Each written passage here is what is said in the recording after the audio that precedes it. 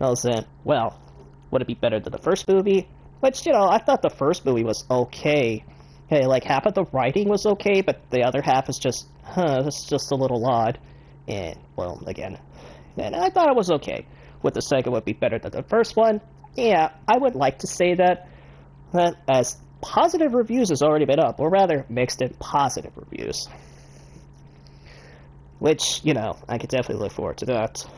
I still look forward to that.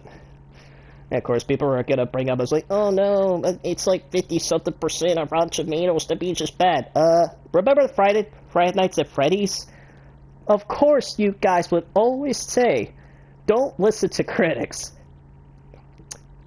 You're better off having your own fucking opinions for the most.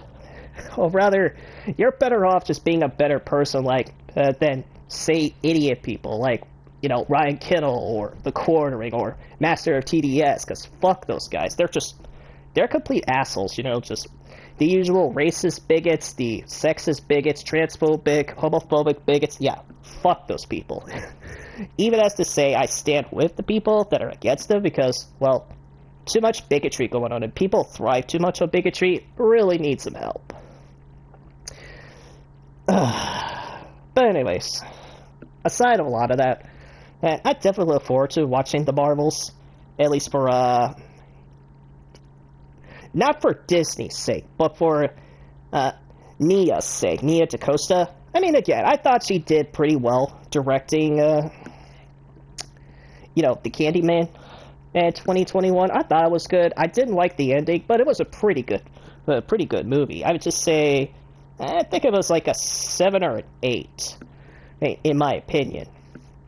And for being the first black woman to direct that a Marvel movie, of course I'm gonna support her. Like, come on.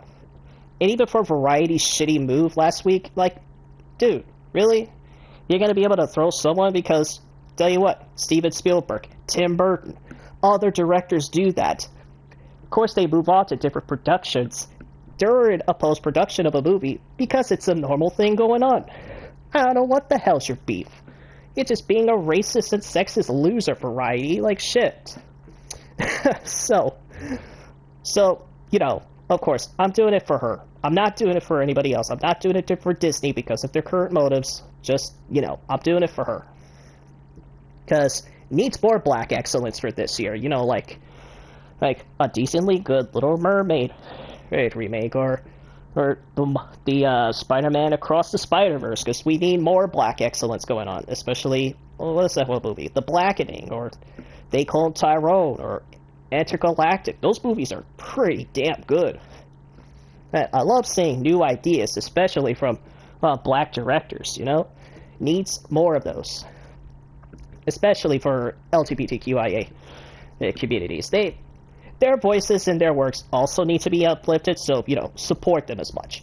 Hell, I even managed to get a. to back up. Uh, what was this? A Leonard?